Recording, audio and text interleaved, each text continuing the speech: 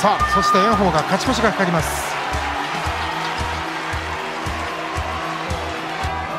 中学3年生の時あの同学年なので都道府県大会で対戦があってその時は炎鵬が勝ったと。その時以来の対戦ということになります。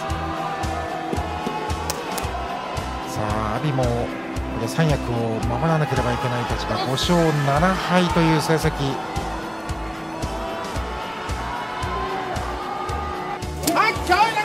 張るようにしていった。阿炎です。炎鵬勝ち越し。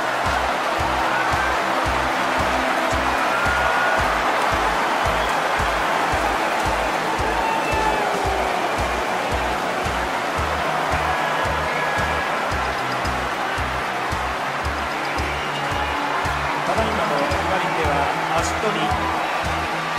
足取りで炎鵬の勝ち。ものすごい拍手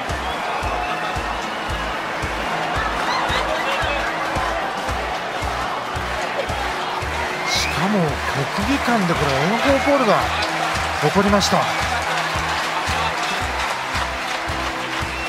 持ち上がったね。えー自己最高位勝ち越し連日の声援をもらっているということで炎鵬関に来ていただきました。おめでとうございます。ありがとうございます。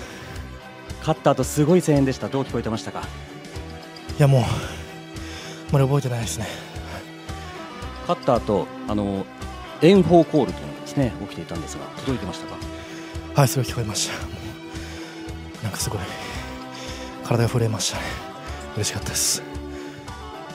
取り口ですが攻め込まれましたが明日からの動き振り返ってください。いやもう何も覚えてないですね。